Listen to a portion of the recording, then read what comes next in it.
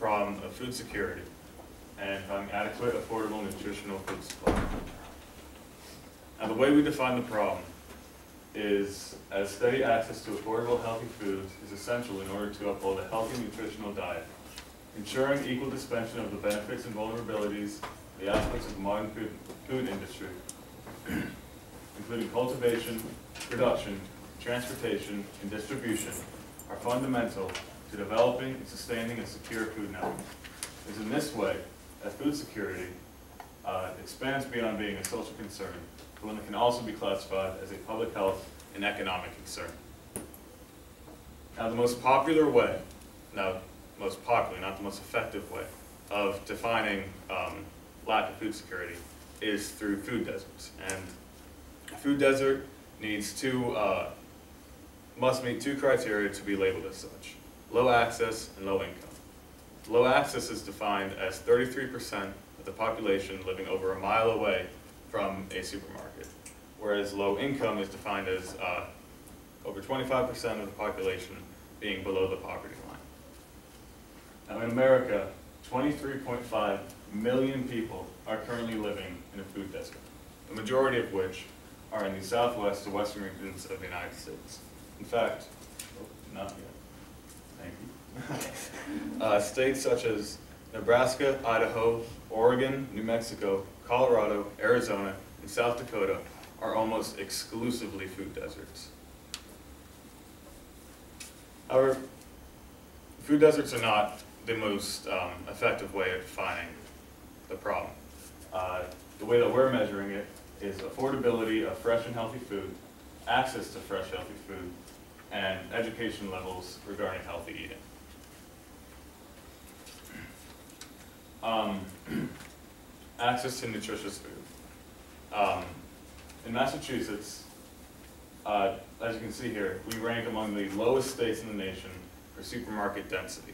So while there may be a supermarket within a mile of you, there might only be one option, and that might not always be the best option for you. Um, in fact, Boston has 30% fewer supermarkets per capita than the rest of the nation.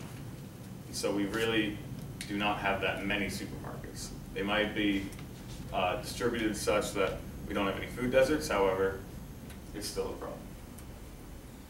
Uh, affordability.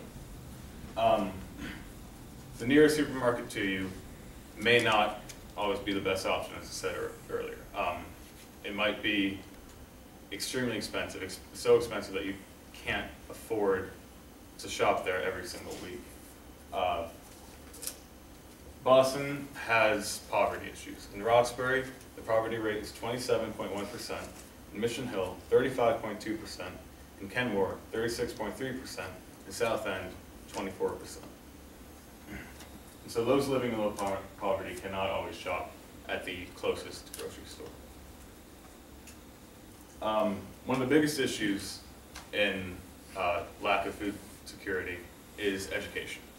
Um, people simply don't know how to get afford how to get affordable, healthy food, and they don't know how to make it themselves. Um, one of the best ways to inform people of this is through food markets. Uh, food markets can often uh, give samplings and demonstrations to show how to uh, correctly prepare your food.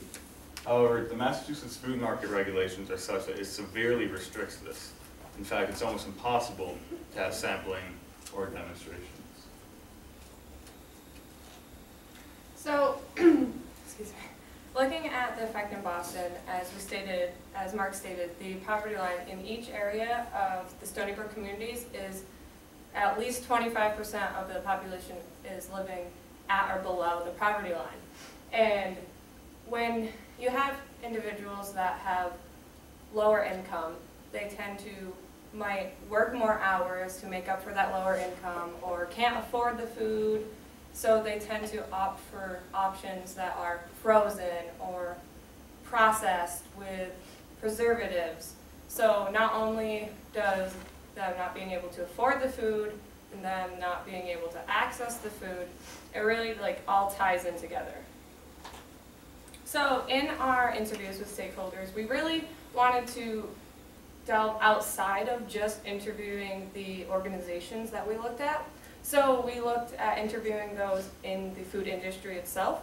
And so we interviewed someone in the production side of the food industry, uh, Elizabeth Dorner. She works for Newly Weds Foods, which is a production of breads and doughs, but they also do research in flavorings and cost and so we really were interested in interviewing her- her to see the production side. And then we interviewed Amanda Albion, which is a general manager at BerryLine, which is a frozen yogurt place, a Boston-based frozen yogurt, who started on the notion that they wanted to provide a local, healthy alternative for those treats that everyone likes. And we interviewed Lucas Murray, who is the kitchen director at Boston Rescue Mission. So, in our interview with Elizabeth Dorner, she brought up three main points. Cost of food, how making healthy food a lifestyle, and education.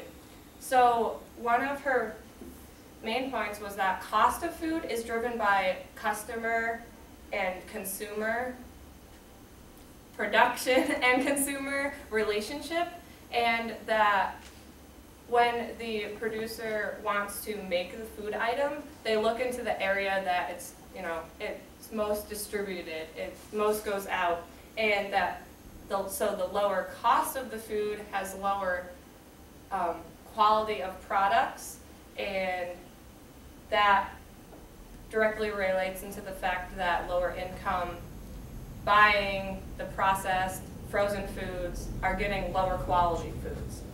Also, she mentioned that healthy lifestyle and organic, you know, um, gluten-free, sugar-free, low-fat kind of became a fad, especially in like higher income families.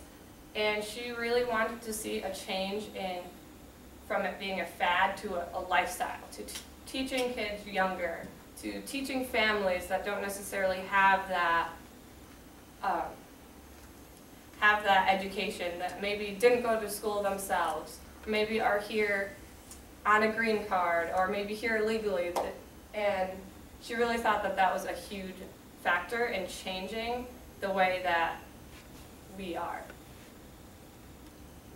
So Amanda, she talked about healthy alternatives. So one thing that she said was she noticed that families come in with their children, and the children are really excited. You know, to them it's like the, such a treat, and it's healthy, no low sugar.